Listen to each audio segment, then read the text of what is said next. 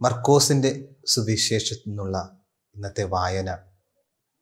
നമ്മളെയൊക്കെ ഒരുപാട് ചിന്തിപ്പിക്കേണ്ട സുവിശേഷ ഭാഗമാണ്. ഈ സുവിശേഷ ഭാഗത്തിൽ ഒരു പ്രഖ്യാപനവും ഒരു വെളിപ്പെടുത്തലുമുണ്ട്. പ്രഖ്യാപനം വരുന്നത് രണ്ട് ചോദ്യങ്ങളിൽ നിന്നാണ്. ആദ്യം ഈശോ തന്റെ ശിഷ്യന്മാരോട് ചോദിക്കുന്നു ഞാൻ ആരെന്നാണ് ജനങ്ങൾ പറയുന്നത്? ഞാൻ ആരെന്നാണ് നിങ്ങൾ പറയുന്നത്? ഈശോയുടെ ഈ ചോദ്യത്തിന് ഏറെ പ്രസക്തിയുണ്ട്. കാരണം മർ- മർക്കോസിന്റെ സുവിശേഷം അധ്യായങ്ങൾ ഒന്ന് തുടങ്ങി എട്ട് വരെ അവന്റെ നിരവധിയായ അത്ഭുത പ്രവർത്തനങ്ങളെ സുവിശേഷകൻ വിവരിക്കുന്നുണ്ട്. രോഗികളെ സുഖപ്പെടുത്തുന്ന ഈശോ കാറ്റിനെയും കടലിനെയും ശാന്തമാക്കുന്ന ഈശോ കടലിന് മീതെ നടക്കുന്ന ഈശോ പിശാചുക്കളെ ബഹിഷ്കരിക്കുന്ന ഈശോ. അങ്ങനെ മഹാകാര്യങ്ങൾ ചെയ്യുന്ന ഒരു മഹാനായ വ്യക്തിയെയാണ് സുവിശേഷകൻ ആദ്യത്തെ എട്ട് അധ്യായങ്ങളിൽ ചിത്രീകരിക്കുന്നത്. അപ്പോൾ ഇതിന്റെ വെളിച്ചത്തിൽ ജനങ്ങൾ പറയുന്നു അവൻ മഹാനായ ഒരു വ്യക്തിയാണ്. പ്രവാചകന്മാരിൽ ഒരുവനാണ്. മരിച്ചവരിൽ നിന്ന് ഉയർത്തെഴുന്നേറ്റ് വന്ന മഹാനായ ഒരു വ്യക്തിയാണെന്നൊക്കെ ഈശോയെക്കുറിച്ച് പറയുകയാണ്. എന്നാൽ ഈശോ തന്റെ ശിഷ്യന്മാരോട് വളരെ വ്യക്തിപരമായ ഒരു ചോദ്യം ചോദിക്കുന്നു. ഞാൻ ആരെന്നാണ് നിങ്ങൾ പറയുന്നത്? യേശുവിന്റെ കൂടെ നടന്ന് യേശു ചെയ്ത പ്രവൃത്തികളൊക്കെ കണ്ട് യേശുവിന്റെ പ്രാർത്ഥനാ ജീവിതവും യേശുവിന്റെ മഹാകാര്യങ്ങളുമൊക്കെ കണ്ട പത്രോസ് പറയുന്നു നീ മിഷിഹായാണ് കാരണം മിഷിഹായ്ക്ക് മാത്രം ചെയ്യാൻ പറ്റുന്ന കാര്യങ്ങൾ ആണ് നീ ഇതാ ചെയ്യുന്നത്. എന്നാൽ ഈശോയ്ക്ക് മനസ്സിലായി പത്രോസ് തന്നെക്കുറിച്ച് പറഞ്ഞത് അവന്റെ പൂർണമായ ഉൾക്കാഴ്ചയിൽ നിന്നുമല്ല അല്ലെങ്കിൽ അവൻ പറഞ്ഞ കാര്യങ്ങളെക്കുറിച്ച് അവന് പൂർണമായ ബോധ്യമില്ലായിരുന്നു എന്ന് മനസ്സിലാക്കിയ ഈശോ പത്രോസിനോടായി അല്ലെങ്കിൽ തന്റെ ശിഷ്യന്മാരോടായി പറയുന്ന മറ്റൊരു കാര്യമാണ്. മനുഷ്യപുത്രൻ ഇതാ പാപികളുടെ കൈകളിൽ ഏൽപ്പിക്കപ്പെടാൻ പോകുന്നു. അവർ അവനെ വിചാരണ ചെയ്യും കുറ്റം വിധിച്ച് അവനെ ക്രൂശിക്കും.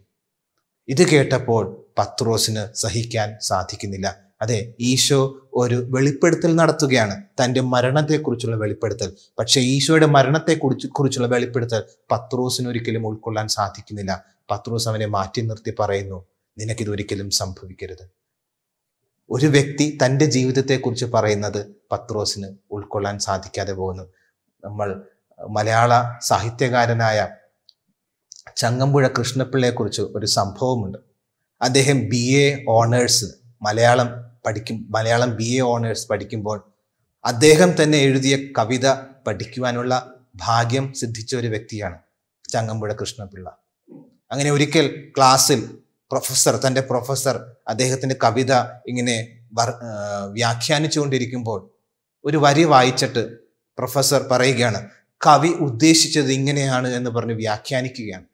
അപ്പോൾ ചങ്ങമ്പുഴ കൃഷ്ണപിള്ള എഴുന്നേറ്റ് എന്ന് പറഞ്ഞു സർ കവി ഉദ്ദേശിച്ചത് അതല്ല. എന്ന് പ്രൊഫസറിനെ തിരുത്തേണ്ടി വന്നു.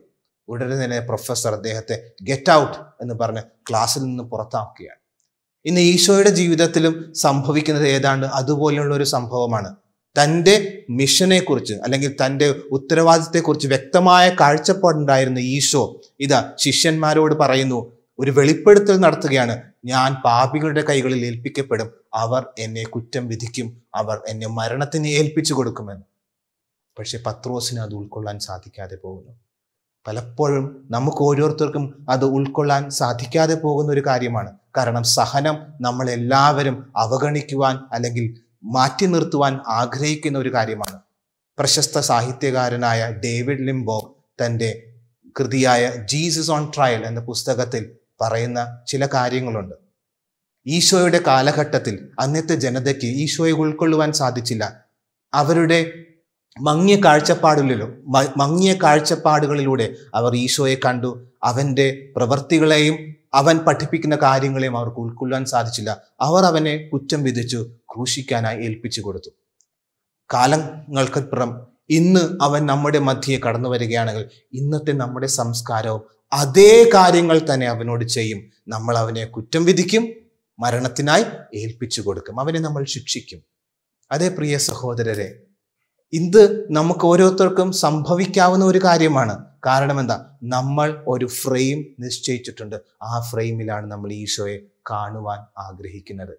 നമ്മുടെ ഫ്രെയിമിൽ അവൻ വന്നിട്ടില്ല എങ്കിൽ നമ്മൾ അവനെ ബോധപൂർവം അല്ലെങ്കിൽ തള്ളിക്കളയും. ഇത് നമ്മൾ ഓരോരുത്തരും നേരിടുന്ന വലിയൊരു പ്രതിസന്ധിയാണ്.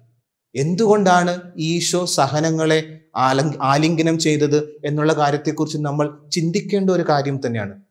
സഹനത്തോട് അതിതീവ്രമായ പ്രണയമുണ്ടായതുകൊണ്ടല്ല അവൻ സഹനത്തെ ആലിംഗനം ചെയ്തത്. മറിച്ച് അവൻ സ്നേഹിച്ചത് നമ്മളെ ഓരോരുത്തരെയുമാണ്. നമ്മളെ ഓരോരുത്തരെയും അതീവമായി സ്നേഹിച്ച ദൈവത്തിന് അല്ലെങ്കിൽ ദൈവപുത്രന് സഹനങ്ങളെ രക്ഷയുടെ മാർഗമായി സ്വീകരിക്കേണ്ടി വന്നു. അവൻ സഹനത്തെ പ്രണയിക്കുകയാണ്. അവൻ സഹനദാസനായി തീരുകയാണ്. യശയ പ്രവാചകൻ പറയുന്നത് പോലെ സഹനദാസനായി തീരുന്ന യേശുനാഥൻ. ഈ സഹനദാസന്റെ പ്രത്യേകത എന്താണ്? അവൻ പാപികളെ അല്ലെങ്കിൽ പാർശ്വവൽക്കരിക്കപ്പെട്ട ജനതയെ അവരുടെ ദുരിതങ്ങളിൽ നിന്നും കൈപിടിച്ച് ഉയർത്തും. അവന്റെ സഹനങ്ങളിലൂടെയാണ് അവൻ മറ്റുള്ളവരെ ഉയർത്തുന്നത്. അതെ പ്രിയ സഹോദരരെ ഇത് തന്നെയാണ് യാക്കോബ് സ്ലിഹായും തന്റെ ലേഖനത്തിലൂടെ പറയുന്നത്. അവന്റെ സഹനങ്ങളിലൂടെ അവൻ നമ്മളെ വീണ്ടെടുത്തു. അവന്റെ സഹനങ്ങളിലൂടെ അവൻ നമ്മളെ രക്ഷിച്ചു. ഇന്ന് നമ്മുടെ ഓരോരുത്തരുടെയും സഹനങ്ങൾക്ക് പ്രത്യേകമായ അർത്ഥമുണ്ട്. നമ്മുടെ ഓരോരുത്തരുടെയും നമ്മൾ സ്നേഹിക്കുന്ന അല്ലെങ്കിൽ നമ്മളെ സ്നേഹിക്കുന്ന വ്യക്തികളെ രക്ഷിക്കുവാനായിട്ടുള്ള മാർഗമാണ് സഹനം.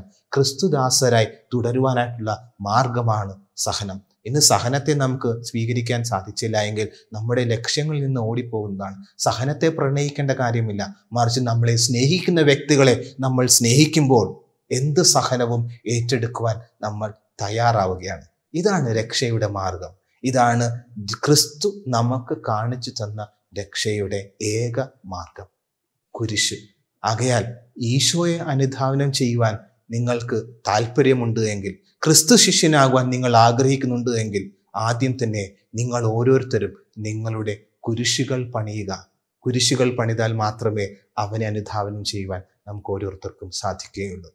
നമ്മുടെ ഓരോരുത്തരുടെ വ്യക്തിപരമായ ജീവിതത്തിൽ നമുക്ക് നമ്മളോട് തന്നെ ചോദിക്കാം ക്രിസ്തു എനിക്ക് ഇന്ന് ആരാണ്? അവൻ എന്റെ രക്ഷകനാണോ? അവൻ എന്റെ മാർഗദർശിയാണോ? അവൻ എന്റെ എല്ലാം എല്ലാമാണോ ഞാൻ അവന് വേണ്ടി എന്റെ ജീവൻ സമർപ്പിക്കുവാൻ തയ്യാറാണോ?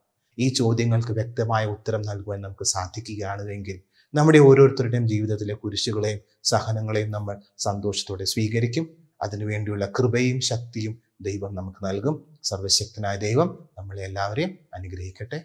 Amin.